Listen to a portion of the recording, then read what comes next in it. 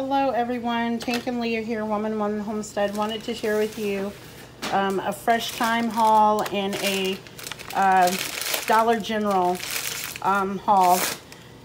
I went in a day ago and I got one of these because we were having chili and they were a dollar. And it's the Texas style cornbread, sweet cornbread mix. So I bought four of those and then um, we have two more in the pantry. So these will go in our long-term food storage. And there's also a recipe on here for tamale pie. So tonight at Fresh Thyme, uh, we picked up a bottle of Fruscato watermelon and peach. Um, my son, for work, and me, we both needed a cleaning and repair kit. Um, Tank and I needed some more toothpaste. We tried this peppermint all-in-one, Dr. Bronner's.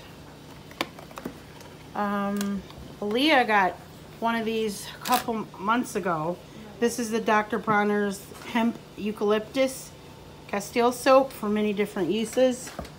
So that will be put to great use. Two avocados at 50 cents a piece. Excuse my nails, I've been digging. Two kiwis for Leah. Um, my favorite soap in the world, patchouli and orange peel. I usually use this as a kitchen soap. Pineapples this week there were $1.99 per tank. Um, I'm hiding the fact.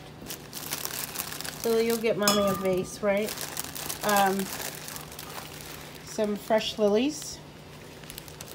Hmm, they smell amazing.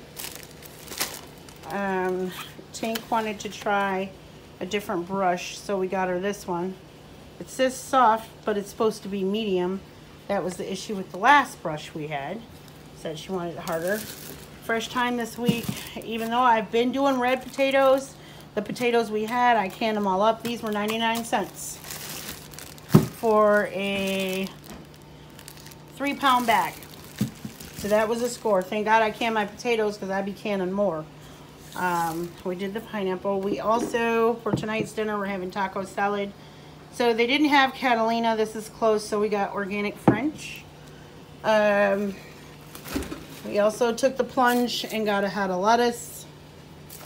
A lot of skepticism going on there. A little bit about the store. They were fully stocked. It was not crowded. We had initially wanted to go to Trader Joe's. There was a line wrapped around the building due to capacity. And last but not least, with my mighty helper Leah, uh, Fresh Thyme had these elderberry immune boost uh, drinks with honey and apple cider vinegar. So when we turn around, and we're still going to get some dry just to have on hand. I'm trying to get the ingredients, you guys. Here's the ingredients water, tart cherry juice, all that good stuff. Um, talks about the warning label of the cap of the bottles of this. So this will get put away with our medicinals and near when ones start to feel like they're not feeling well. So that is our mini trip of the day, a long-term food storage item of the week. Um, tomorrow we still have to go to another local market to us. They have Manwich 5 for 5 and Rotel 5 for 5. So we're going to get stocked up on that. We figured that's worth a good investment. So uh, we hope that everybody is well. I'm a little under the weather. I got some fluid knee issues going on. It's setting me back a bit, but um, everyone be safe and hope all is well. Peace.